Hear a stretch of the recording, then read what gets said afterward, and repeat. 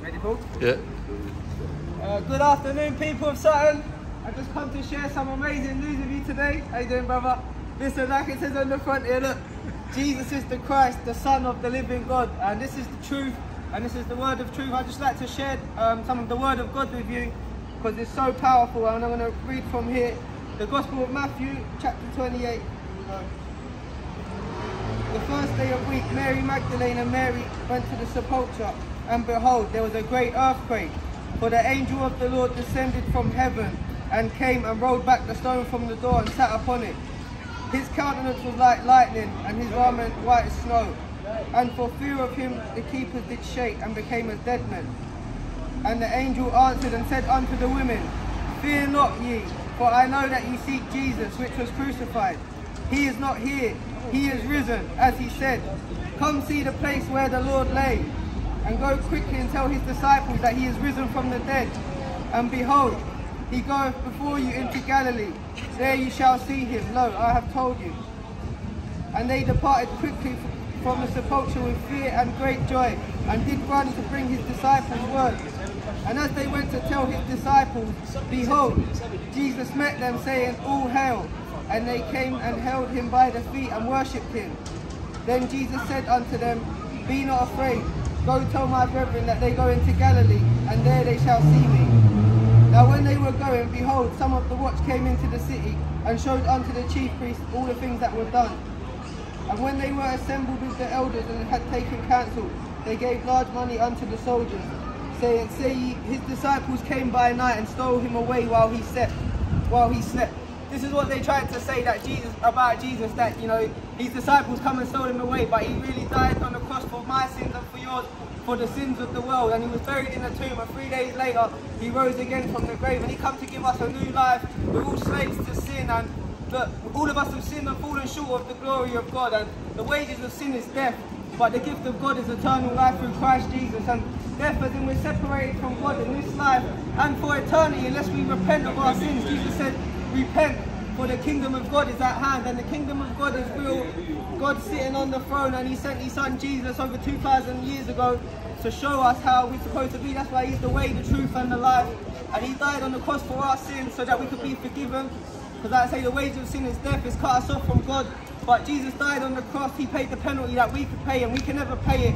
And it's appointed unto man once to die and after to face the judgment. And when we're dead one day, we don't know when that's going to be, but it's the reality of life.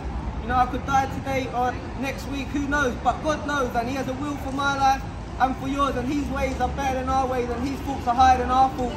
And he loves you so, so much. God bless you, mate. Jesus, Jesus is the King, mate. Jesus is the King of kings and the Lord of lords. And he says, come to me, all you who are weary and carry heavy burdens, and I will give you rest.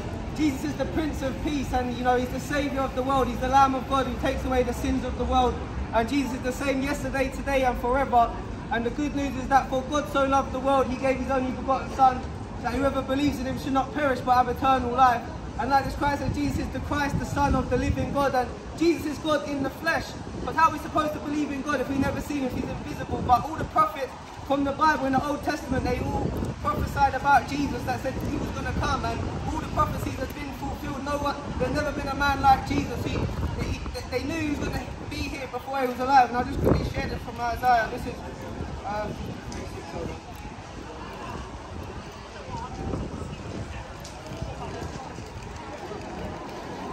this big old Bible here and they got someone with my uh, Alright, here we go. Who has believed our, our report, and to whom is the arm of the Lord revealed? For he shall go up before him as a tender plant, and as a root out of dry ground. He has no form nor comeliness, and when we shall see him, there is no beauty that we should desire him. He is despised and rejected of men, a man of sorrows, and acquainted with grief. And we hid as it were our faces from him, as we despised him and esteemed him not. Surely he has borne our griefs and carried our sorrows. Yet we did esteem him stricken, smitten of God, and afflicted. And here's the bit, Isaiah 53, 5. But he was wounded for our transgressions. He was bruised for our iniquities. The chastisement of our peace was upon him, and with his stripes we are healed. And Jesus come for the lost. I was lost, but now I'm found, and for the lost sheep. He wants to save us from our sins until we have eternal life and have peace with God. And He's the only way to heaven. He's the way, the truth, and the life. And He loves you so much more than you'll ever know. And you know His love is unfailing love. And you know God is a solid rock. It's impossible for God to lie. You know God is light, and in, in Him there's no darkness at all. And if you look around on the news, there's so much bad news and there's so much evil and wickedness going on. A lot of people are confused these days and the devil, he's the author of confusion and he's the father of lies and he's come to steal, kill and destroy. And only Jesus can set you free from, from your life of sin. You can be forgiven and be born into a new life. He says no man can see the kingdom of heaven unless he be born again. And that's born of the Spirit. That's how we become a child of God. We have our sins forgiven and we have must repent and we can't do it by ourselves, but God, you know, we just admit that we're a sinner. The Bible tells us, which is the word of God, that if you confess with your mouth that Jesus is Lord and believe in your heart that God raised him from the dead, you'll be saved. And it's only by faith in your heart that, that you believe. And, you know, God knows our hearts. He created us and he has a will for our lives and we're made in his image. And he wants to have a relationship with you and for all of us. You know, not, we don't deserve a relationship with our loving, amazing God in heaven because of our sins. It separated us. But Jesus came and, you know, as a man, God as in the flesh, in the beginning was the Word, the Word was God, and, and then the Word became flesh, which is Jesus, to prove to us. And this Bible is a living Word, and God speaks to us through the Bible, and He will lead us, teach us, and guide us. And that say, when you become a child of God, God the Holy Spirit lives inside us, and He, will, he promises that He will never leave us nor forsake us, and He'll guide us into all truth and teach us all things. And I didn't used to like the Bible, I didn't used to care about sin or heaven and hell, but you know, I had I've seen amazing miracles in my life. I've seen God do the impossible for me. Um, as a child, I grew up. I just quickly I won't go into too much detail, but I've seen amazing healing in the thanks to God, and that's how I see my mum. She was used to be an alcoholic and suffer from domestic violence all my life as a kid. And uh, my stepdad used to hit my mum. I used to defend my mum as a small boy this big. And I pray that my mum will stop drinking and leave my stepdad. It happened for a long time and ultimately, because with God it's His timing, we might pray for something, but that's we've got to learn to trust Him because He knows best and His timing is perfect. And I see a miracle, my mum, you know, completely transformed, went to rehab, got, got a new home where I live just down the road in Bankside. I thought, wow, that's a miracle if I've ever seen one. And, and I'm a professional boxer now, thanks to God. Um, I'm undefeated, my name's Louis Lynn, I'm 10 fights, um, yeah, seven knockouts. And all thanks to Jesus. And again, faith comes from hearing and hearing the word of God. And people aren't supposed to know about God if no one comes out to tell to tell you about it. I'm here to tell you the truth because the truth will really set you free.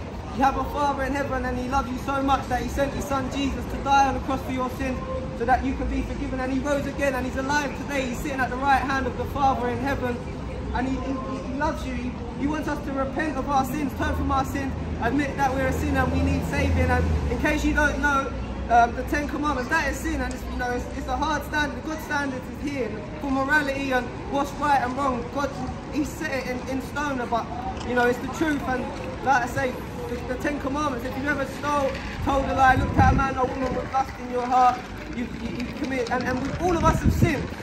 All have sinned and fall short of the glory of God. So no one's perfect.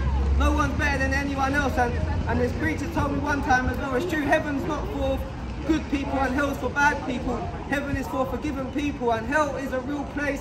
And the Bible says, Jesus says, there'll be weeping and gnashing of teeth. Um, where the flame will not go out, there'll be a lake of fire. And, and hell is not made for you and me or for any of us, but it's made for the devil and his angels. And I say, the devil comes to steal, kill and destroy. A lot of people, the devil, the God of this age is money. You know, that's who people serve. They live, they live for the money and the wealth and the fame. But the Bible tells us, what will it profit a man if he gains the whole world and forfeits his own soul? And you know, the elite, the satanic, they worship Lucifer. You know, for the money, that's what they care about. That's why there's enough food to go around, but people are still starving and hungry because of greed and sin and all this wickedness. But if we just follow, have a relationship with our Heavenly Father who created us through Christ Jesus, we could be set free from a life of sin and the purpose of life is not just to go go to work every day, try and make as much money, go on holiday a few times a year. If we're fortunate enough to do that, we've got brothers and sisters in this country and all around the world, you know, they've got nothing, you know what I mean? But Jesus said, you know, we've got to be grateful for everything and give thanks to God in all circumstances. Because the Bible also tells us that blessed are the poor, for theirs is the kingdom of heaven. Because, you know, Jesus, he knows our hearts and he made a way for us because he loves us that much. And, you know, his will is, is amazing. When you have a relationship with him, It's the best thing in the world. Nothing compares. No money. Like I say, I'm a champion. I'm 10 fights undefeated. I've had some amazing victories. Thanks to God. He's been with me in the ring. He's been with me every time I've been through uh, the deep waters. He's there. His word is never fails. And you know, His word is a is a light to my path and a lamp to my feet. He will never leave us nor forsake us.